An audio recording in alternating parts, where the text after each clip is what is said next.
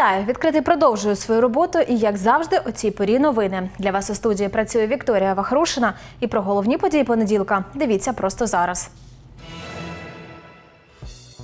Міжнародне свідоцтво про вакцинацію чи ковідний сертифікат. Яку інформацію вони містять і чим відрізняються ці документи? Залишилося побудувати 29 кілометрів. На Дніпропетровщині у розпалі роботи на останній ділянці нової траси на Київ Н-31. Яскравий та комфортний. У селі Чкаловому на Нікопольщині завершують реконструкцію дитсадка. На каяках по Дніпру понад 70 атовців із дружинами та дітьми долучилися до активного відпочинку. Нас очікують дощі та грози, але сильного зниження температури очікувати не варто, кажуть у Дніпропетровському гідрометцентрі. І тепер про це та інше більш детально. Перепустка за кордон українцям почали видавати ковід-свідоцтва, щоб люди могли подорожувати. Отримати документ можуть ті, хто пройшов повний курс вакцинації. Щоправда, поки це свідоцтво відкриває двері не до всіх країн. Який вид воно має, які дані містить та в кого його можна отримати, дізнавалися журналісти відкритого. Хочеш за кордон, отримай свідоцтво про вакцинацію міжнародного зразка. Він підтвердження, що людина пройшла повний курс щеплення від COVID-19. Вже видають такі документи і в Новоолександрівській амбулаторії. Прийшов за ковідним свідоцтвом і місцевий житель Геннадій Купчик. У мене дочка в Германії. Ну там внук у нас малий, хоче туди поїхати. Ну і за те, що не пускають із-за цього вірусу, треба робити вакцину, тому вирішив зробити вакцину. Ну, надіюсь, пустять і нормально доїдемо. Щоб отримати міжнародне свідоцтво, слід звернутися до сімейного лікаря. Якщо ви були провакциновані, от знаєте, що ви отримали дві дози, навіть не в тому медичному закладі, в якому у вас заключена декларація, ви повинні своєму сімейному лікарю надати свій закордонний паспорт для того, щоб лікар зміг внести ці дані в систему для видачі, і отримаєте свій сертифікат. У свідоцтві прізвище та ім'я, як у закордонному паспорті, дата народження, відомості, коли і якою вакциною людину імунізували. Також на документі, що дійсний протягом року, печатки сімейного лікаря і медостанови, яка його видає. Процедура оформлення ковід-свідоцтва займає кілька хвилин.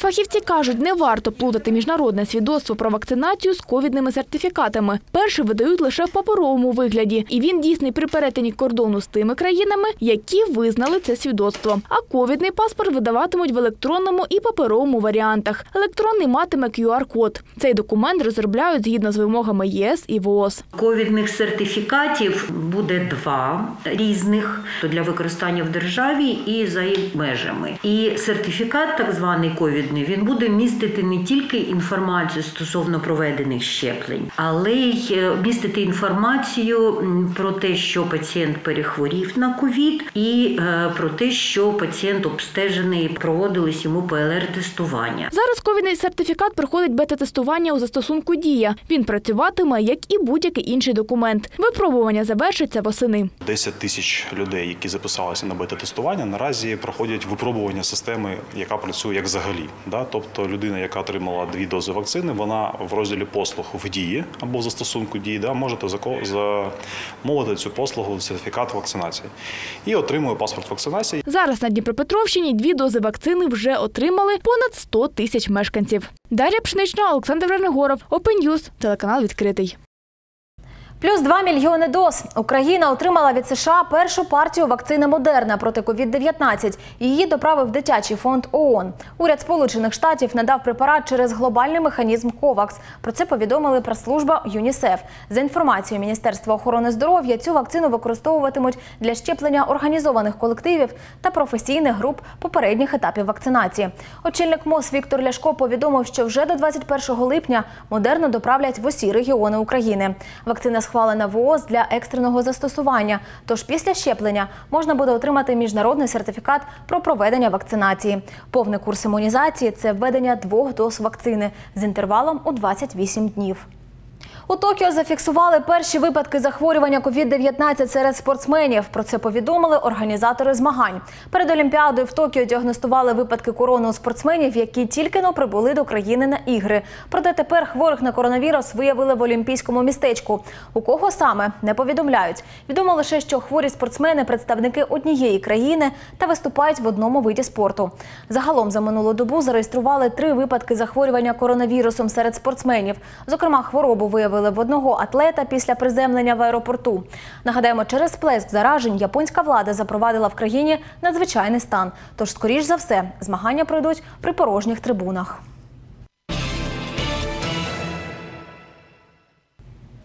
Роботи в розпалі на Дніпропетровщині будують останню ділянку нової траси на Київ Н-31. Її протяжність майже 30 кілометрів. Сучасну дорогу зводять неподалік сіл Петриківщини та Царичанщини.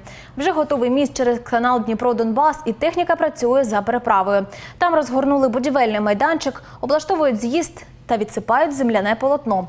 Наразі підрядники варять арматуру під буренабивній палі, а ще зводять тимчасові переправи через Оріль для проїзду будівельної техніки. Траса Дніпро, Царичанка, Кобиляка, Решетилівка один із наймасштабніших проєктів програми Велике будівництво.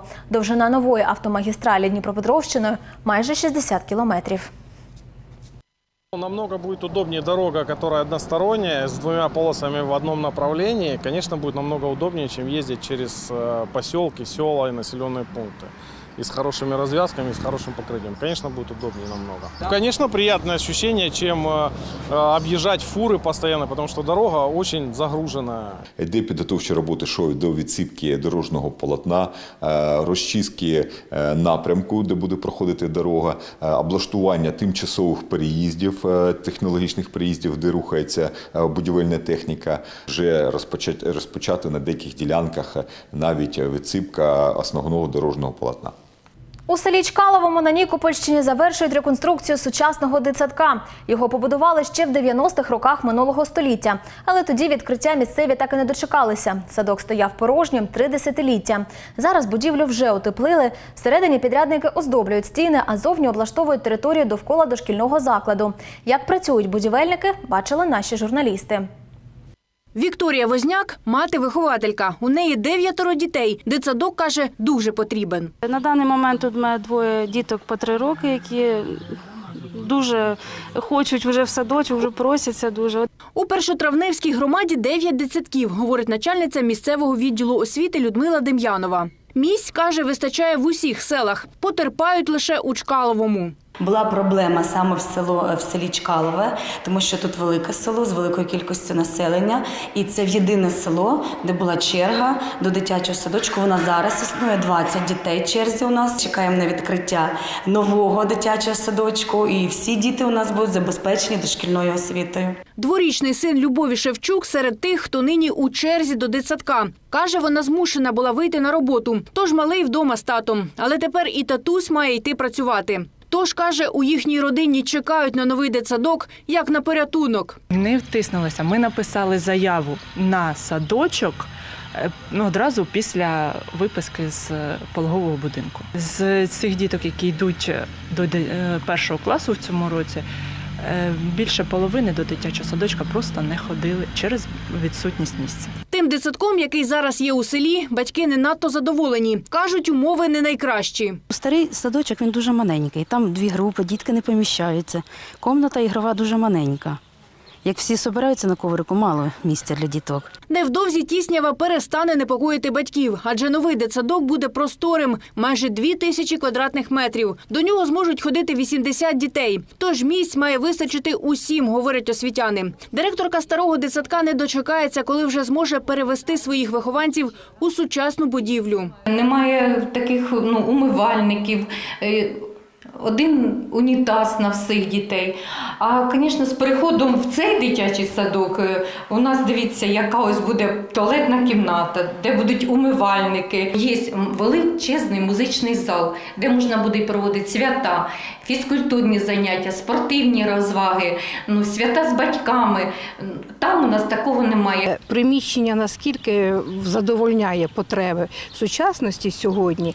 В кольоровій гамі теж буде витримано всі кольори, І сьогодні сільськрада працює, вже готується тендерна документація для закупівлі меблів і облаштування, внутрішнього облаштування дитячого садочку. Буде тут і власний харчоблок зі складом для зберігання продуктів. На дворі облаштують чотири дитячі майданчики для кожної групи. 70 малюків зможуть ходити до сучасного комфортного дитячого садочка, е, знаходитись в яскравих ігрових кімнатах, затишних е, спальнях, а також на яскравому веселому майданчику на дворі.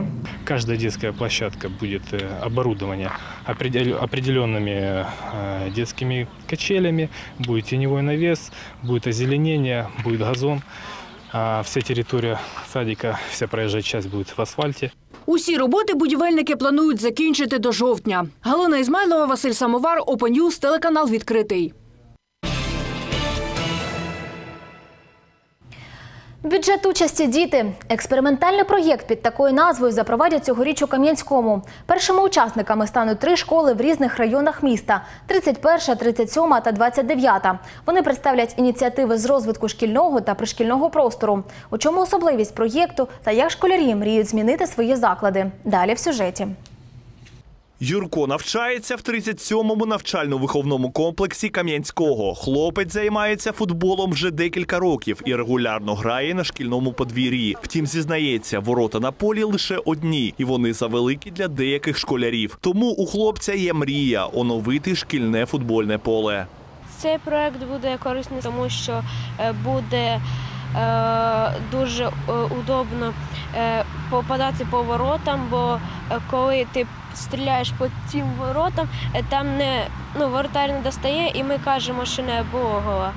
А так ворота будуть нормальні по висоті, і воротар буде доставати. А ось одинадцятикласниця Анастасія хоче, аби на шкільному подвір'ї з'явився новий спортивний майданчик. У нас е, дуже багато і в моєму класі, і в усіх класах дуже багато спортсменів, і хочеться, щоб в нас було не тільки два спортзали, а ще й на шкільному подвір'ї, якому ми займаємося восени. Щоб допомогти учням реалізувати такі ініціативи і дати можливість впливати на вирішення питань, які їх стосуються у Кам'янському, і запровадили пілотний проєкт бюджет участі діти. Його першими учасниками стануть три школи. Це мають е, бути проекти, продукти яких безпосередньо, а не опосередковано направлені саме на учнів. Це не можуть бути там. Утеплення школи або заміна вікон, або дах, або підвал, чи щось. Це те, що опосередковано. Це можуть бути там зони відпочинку, якісь там класи, якісь їхні зони, де вони проводять там вільний час. Футбольне поле та спортмайданчик не єдине, про що мріють у 37-му НВК. Тут навчаються 749 учнів, і в багатьох є ідеї, каже директорка. Вже висунули чотири проєкти. Їй найбільше сподобалась ініціатива створити шкільне радіо. Ми дуже хочемо, щоб в нас в школі було шкільне радіо. Е, Діти навіть вже попридумували різні рубрики, які будуть. Як буде починатися день в школі, е, коли буде шкільне радіо. Відмінність проєктів, які подаватимуть на бюджет участі діти, їх вигадуватимуть і створюватимуть самі школярі. Щоб допомогти їх оформити, попередньо проведуть навчання, кажуть в департаменті економрозвитку Кам'янського. Буде друга половина вересня. Буде навчальний етап, коли дітей та дорослих, вчителів та батьків і адміністрацію школи будуть навчати, як саме писати проекти. Потім ми залишимо дітей е, тижні на два, щоб вони напрацювали свої ідеї і почали писати проекти. Після чого робоча група направляє на департамент економічного розвитку, і ми вже дивимося, чи всі правила бюджету часті діти були дотримані в тих проектах. Школи-учасниці зможуть подати необмежену кількість ініціатив, але переможуть лише дві в кожній школі. Голосуватимуть також виключно учні. З бюджету Кам'янського на реалізацію ідей юних кам'янчан виділили 180 тисяч гривень. У міськраді кажуть, якщо пілотний проєкт вийде успішним, його поширять на всі освітні заклади міста. Стас Коновалов, Василь Самовар, Open News, телеканал відкритий. Квінтесенція музики, унікальних артистів та незабутньої атмосфери. В обласному центрі пройшов один з найвідоміших музичних фестивалів країни Джаз на Дніпрі. Він давно визитівка міста. У 2020-му через карантин, як і більшість фестивалів, він пройшов онлайн. Але цьогоріч дніпряни та гості міста наповну занурилися в джазову атмосферу. Хто виступив у Дніпрі та як дотримувалися протиепідемічних правил, розкажуть журналісти відкритого. Джаз понад усе під таким гаслом пройшов традиційний фестиваль Джаз на Дніпрі. Цьогоріч через карантинні обмеження організатори перенесли концерти з монастирського острова у парк Шевченка. Для виступів артистів облаштували 10 локацій. Платною була лише одна основна сцена. До решти вхід був вільний. Я считаю эту локацию временной паллиативной мерой, потому что настоящая фестивальная территория и настоящая фестивальная жемчужина, которую оценили не только мы, а оценили приезжающие сюда уже не первый год различные звезды Грэмми. Это все-таки монастырский остров. Відкрив триденний марафон джазової музики виступ понтонного оркестру. Музиканти зізнаються, через пандемію і запровадження обмежень дуже скучили за живим спілкуванням із глядачами. Ми відкриваємо вдруге джаз на Дніпрі. Е, Нам дуже подобається цей фестиваль. Тривалий карантин дав знати і морально люди трошки, знаєте, е, впали, і е, професійно, скажімо так, не виросли, не скажу, що впали, не виросли, але зараз це як повітря для нас, і ми дуже раді грати.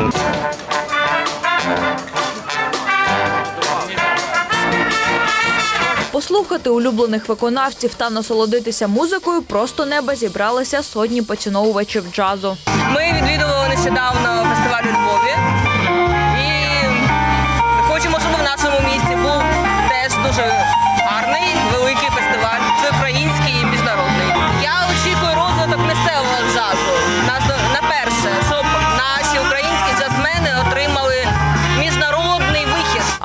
послухати улюбленого джазмена, пан Володимир приїхав на фестиваль із Миколаєва. Я е, хочу послухати, послухати ще раз Джекі Террасона і, в принципі, всі інші виконавці мене теж цікавлять. Програма джазу на Дніпрі традиційно була різноманітною. На сценах виступали відомі світові музиканти з Польщі, Франції, а також українські зірки і молоді місцеві виконавці. Французька співачка Ніколь Рошель у Дніпрі вже втретє. Цього разу гостя виступила із джазовим піаністом Джекі Террасоном та представила свій новий проект Модерн Гейша. У своїй музиці поєднала декілька стилів: реп, хіп-хоп, хаус та джаз, розповідає артистка.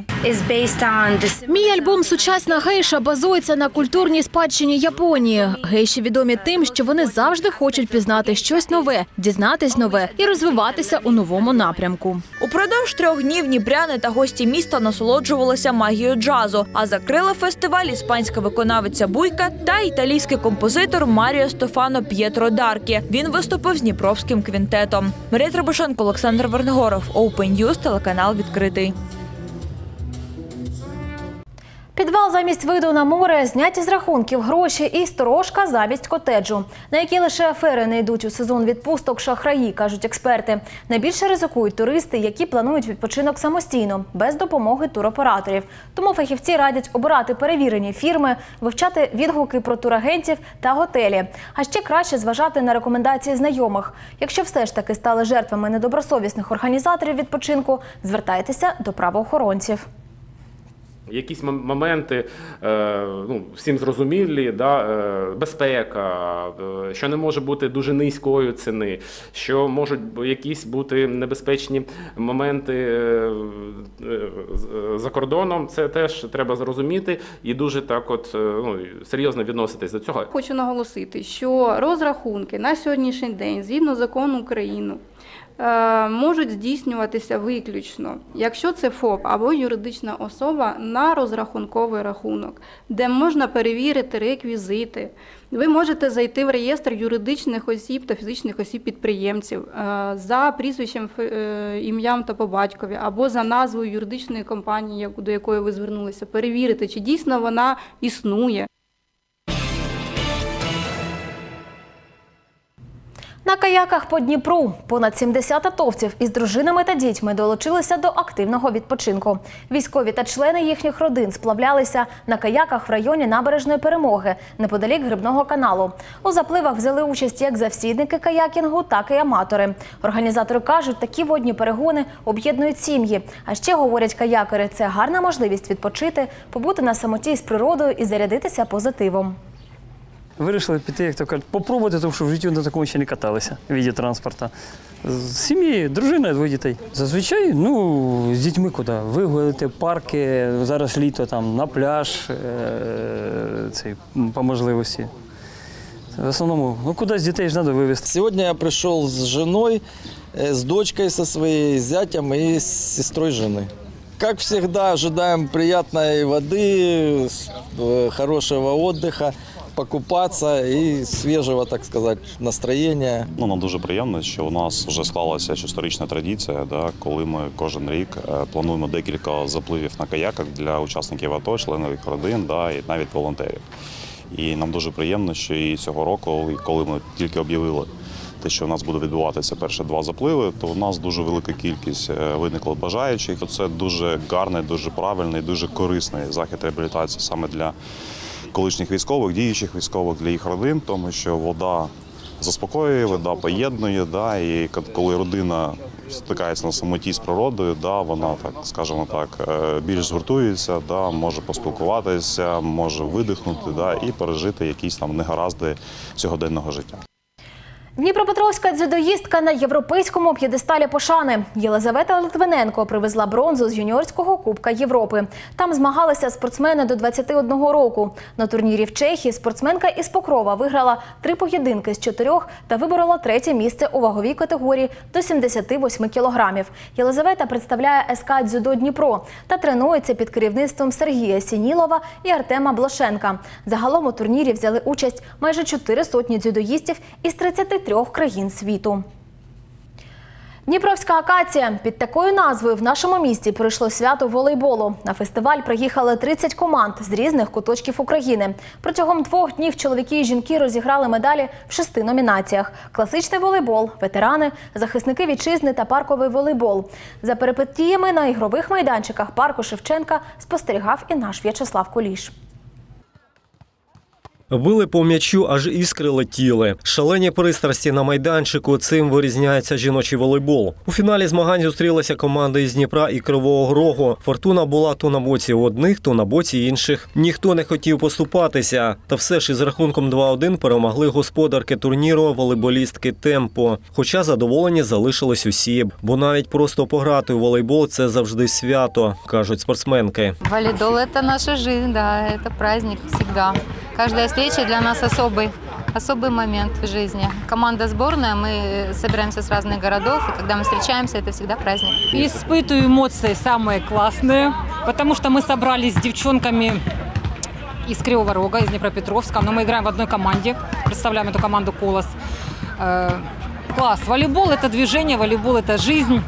Эмоции самые позитивные. Надзвичайно емоційними були і ігри чоловічих команд. Так, серед команд ветеранів в категорії 60+, за перше місце боролися давні друзі-суперники Дніпровський автомобіліст та Харківський скіф. Тут спортивна фортуна стала на бік гостей. Поступившись у першій партії, харків'яни зібралися та вирвали вольову перемогу. С ребятами из Днепра мы уже играем в течение, э, может быть, двух или двух с половиной десятков лет, поэтому знаем друг друга очень давно и хорошо дружим друг с другом.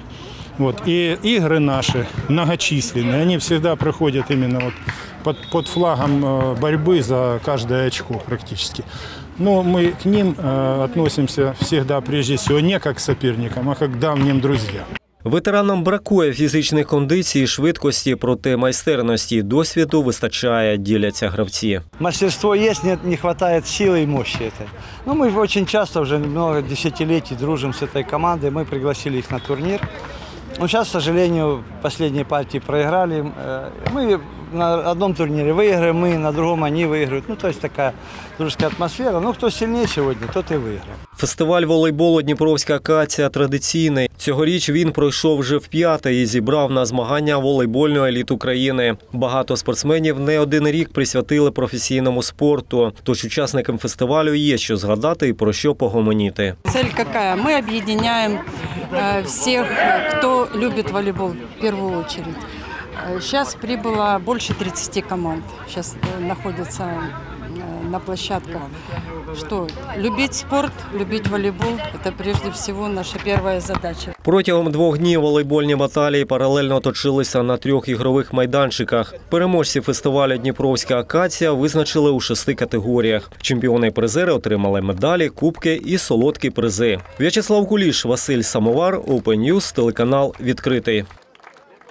Дощі та грози, але значного зниження температури очікувати не варто, кажуть у Дніпропетровському гідрометцентрі.